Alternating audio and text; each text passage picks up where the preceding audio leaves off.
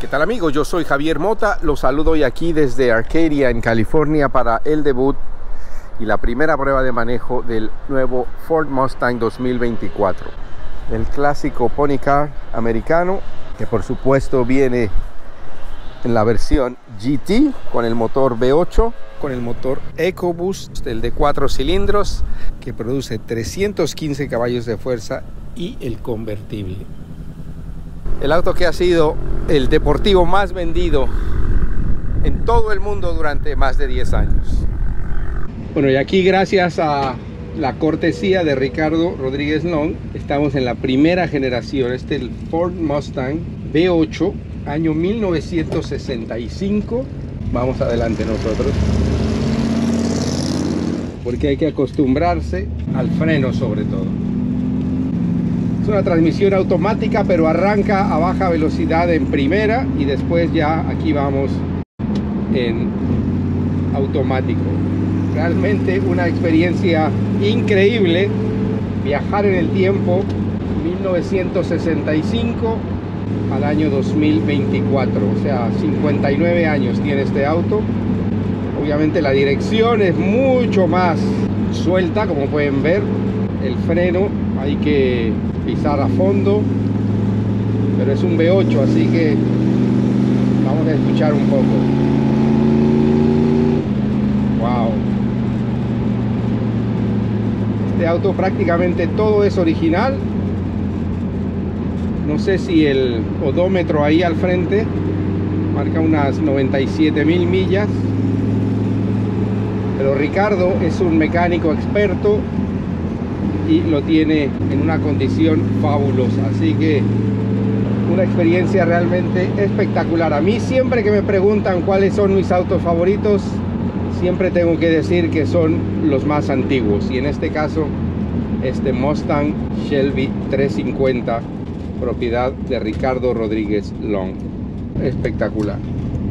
Bueno, ayer manejamos el modelo EcoBoost 4 cilindros, 315 caballos de fuerza y 350 libras de torsión por pie lineal, que realmente es algo extraordinario. Y si lo comparamos con el auto de Ricardo, el de 1965, ese tenía apenas, tiene todavía 175 caballos de fuerza, así que casi el doble con un motor de 4 cilindros y obviamente habrá algunos que piensen que 4 cilindros en un Mustang no es suficiente, pero la verdad que es un auto que cumple con lo básico de un deportivo, podemos decir. El estilo, la tecnología, la potencia, porque 315 caballos de fuerza no son poca cosa tampoco. Lo que pasa que ahora estamos acostumbrados a ver autos de 500 y nos parecen normales. Hoy estamos con el V8, el GT, 5 litros, 486 caballos de fuerza y este obviamente sí ahí está el sonido verdadero de un Mustang, que es lo que se conoce este auto como una de sus características y por eso es que todavía sigue teniendo mucho éxito el Coupe. El convertible quizá es un auto más para las compañías que alquilan autos en Hawái, en Arizona, en Florida. Los turistas disfrutan mucho de ese auto, pero el Coupe sigue siendo o ha sido durante más de 10 años el deportivo más vendido en todo el mundo. En Europa lo buscan más este, el V8, que el EcoBoost, a pesar de que la gasolina es mucho más cara por allá. Así que esta séptima generación del Mustang todavía conserva esas características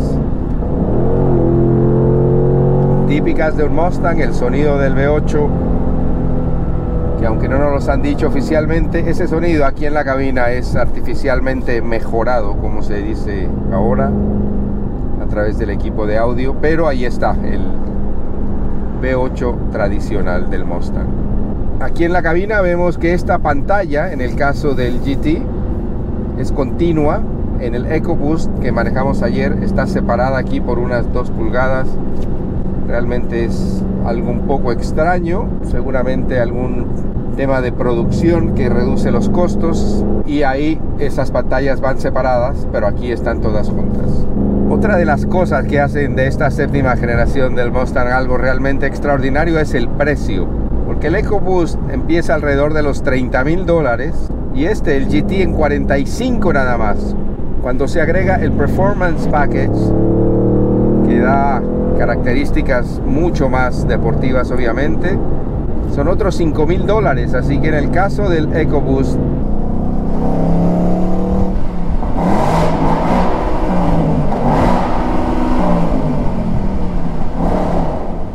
llega a los 40 y en este apenas se acerca a los 50. Así que un excelente trabajo de Ford para mantener al Mustang vivo todavía con motor de gasolina y toda esa promesa de autos híbridos, eléctricos para el año 2035. En mi opinión eso va a esperar mucho más que eso. Así que por ahora vamos a disfrutar este auto. Miren esto, en tercera, no, en cuarta, cuarta velocidad 90 millas por hora y las curvas realmente se cogen sin ningún problema.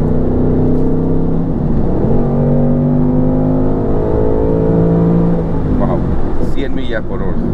Increíble.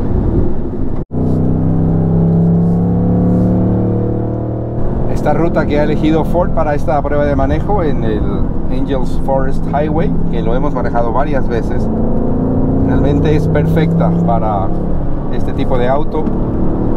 Y aquí con la transmisión manual de seis cambios. En la tercera podemos prácticamente controlar el auto eh, lo mismo en las rectas alcanzar hasta casi 100 millas por hora bajamos la velocidad aquí por ejemplo hasta 60 para tomar esta curva la transmisión responde espectacular bueno, aquí ya de vuelta en la civilización, después de manejar ahí en los cañones, que fue realmente una experiencia súper agradable con este Mustang que está realmente muy, muy, muy bien armado. La ingeniería es perfecta en todo, la dirección, la suspensión, los frenos, Brembo, todo.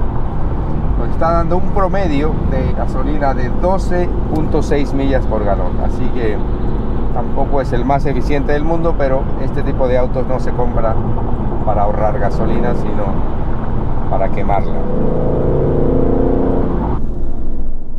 Bueno, estamos terminando las pruebas de manejo acá en eh, Arcadia con el Ford Mustang séptima generación y este es el modelo convertible GT Premium, es decir, el más equipado de todos, todavía con la transmisión manual, pero ya tiene algunos detalles que le dan más lujo. La tapicería en los asientos es de piel. Los controles de los asientos son eléctricos, no manuales. Así que el precio base de 45 mil dólares más el performance package de 5 mil, de lo que hablamos antes, son unos 50 mil dólares por el precio base. Este ya empieza a acercarse a los 60, a los 70 pero sigue siendo un auto realmente excepcional por la relación valor-precio. Y antes de llegar al hotel vamos a aprovechar aquí este pedazo de sombra que hacen 100 grados en este momento aquí afuera para hablar un poco del diseño de la cabina inspirada en los jets cazabombarderos. En este caso del Premium tenemos la pantalla corrida.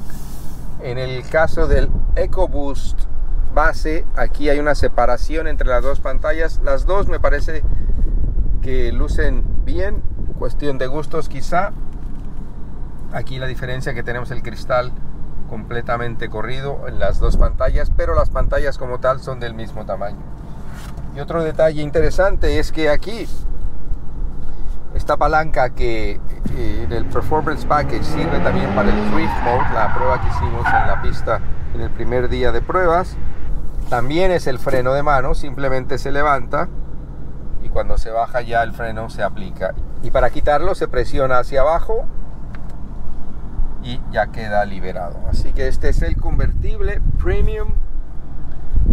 Vamos a dar una pequeña demostración al techo abierto aquí llegando al hotel.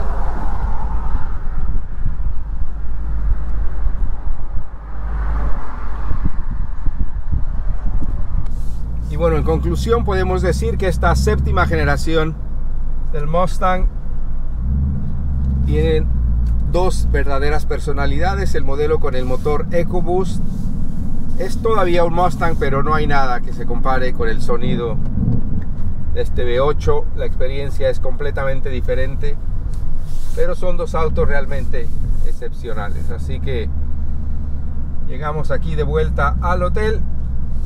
Terminamos la experiencia Mustang aquí en California.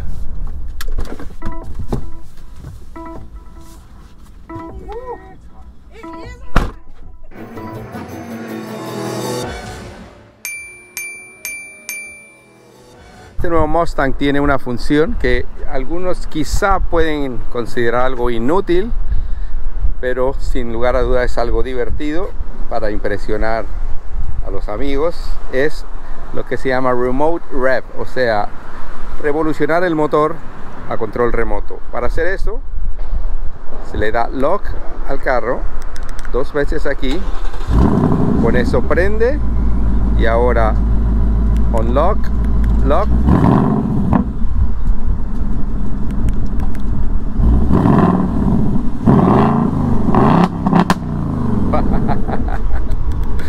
Tecnología para presumir el Ford Mustang